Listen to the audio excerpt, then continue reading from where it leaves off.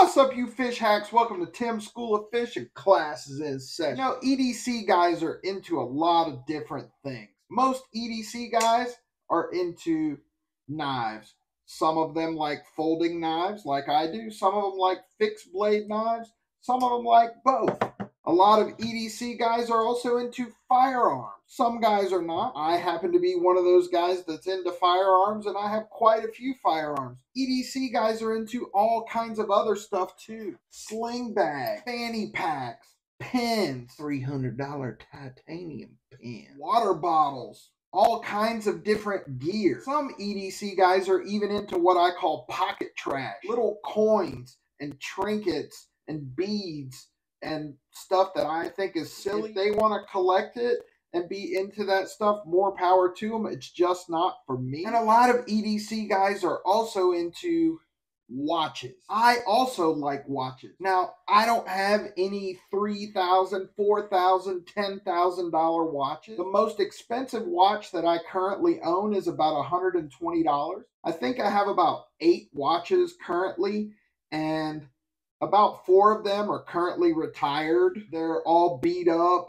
You know, I wore them for so long that they, you know, they just don't look great anymore. They still work just fine, but I reserve those watches for when I'm outside working in the yard or working on the car or camping or fishing or something like that. Now, one day I'd like to have a Tag Heuer watch. I think it's pronounced Tog. Yeah, well, I'm from the South, so I'm going to call it Tag and I could probably buy one now if I wanted to. I just haven't. I typically tend to prefer watches that are about a $100 or less. And even though I don't have any watches that are currently over 120 bucks, I get a lot of compliments on my watches. Now, my style in watches is minimalist, kind of traditional. I don't have any smart watches. I don't like watches that have polymer wristbands or leather wristbands. I prefer a classic design, not a whole lot going on. Maybe a little flash of color is fine with me, but nothing too crazy. I don't need my watch to have GPS and do everything that my smartphone or my computer can do. I like my watches to tell me what time it is and look good. I prefer a watch that's on the heavier side with a stainless steel band or maybe titanium or tungsten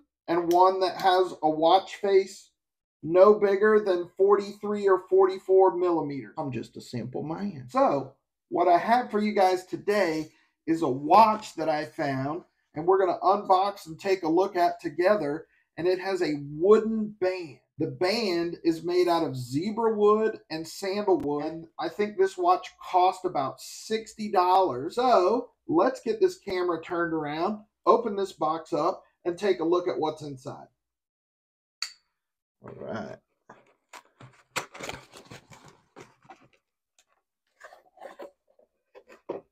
All right, so this is made by a company called Bobo Bird. Some of you guys might think it's a Bobo watch, which is fine. But like I said, this watch was $60. I thought it looked really cool. Ah, there we go.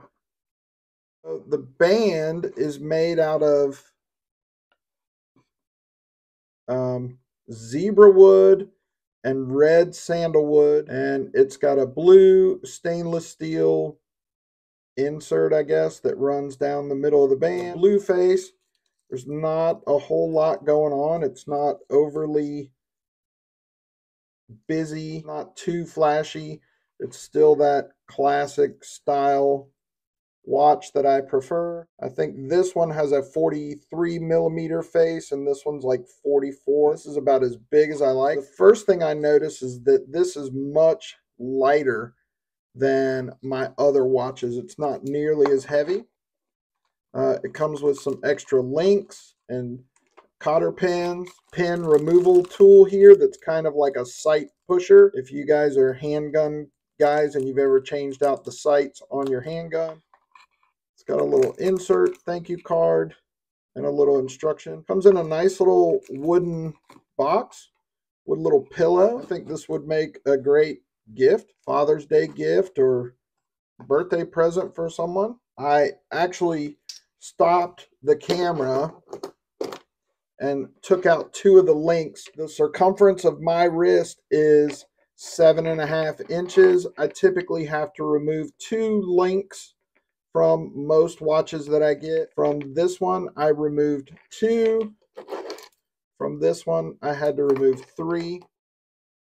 Typically, I, I like my watches to be slightly loose. I don't like them to be, you know, super tight on my wrist but I don't like it to be so loose that it's going to completely spin around. So I removed two links off of this one and it fits great. Now, it comes with that little link removal tool, but I use this from Eventronic. Eventronic. Eventronic. Uh, I think I paid less than $10 for this and this is one of the best investments that I have made. I've used it on several watches already, and for less than $10, this is perfect. Obviously, it's not jeweler grade, but do you really need that for a less than a $100 watch? So this little kit, I will link it in the description below. I'll also link this watch if you guys want to go check it out. I think they had it in like a darker ebony type wood they had it without the stainless steel blue in there. Anyway, so this uh, link removal kit came with 20 different spring pins. It came with 10 different cotter pins. It comes with this little punch, this little pin punch, and it's got several different size pin punch tips in there. And what you do is you just unscrew that and put the correct size tip that you need for the pin that you're removing. Comes with a little mallet that has like a vinyl coated side and also a metal side. Also came with the little pusher tool like that came with that watch. And the best thing is it's got this little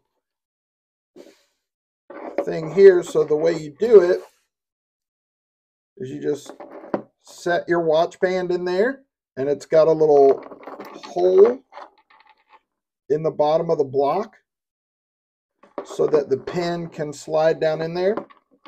So you just set your watch in there like that, take your punch, tap it a few times, and it'll come right out the other side. Super simple, best $10 investment that I ever made.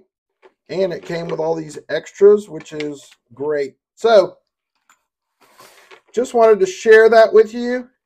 This is a Bobo bird. It's kind of a stupid name, Bobo. Some of you guys are going to think this watch is Bobo. I think it's pretty cool.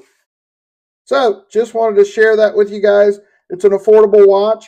I think it looks cool. I'm going to wear it. I like to match my watch with the clothes that I'm wearing. So when I wear something blue, I'll probably rock this bad boy right here. I'm sure I'm going to get plenty of compliments on it because it looks great. I will link this down below if you guys want to check it out. Bobo Bird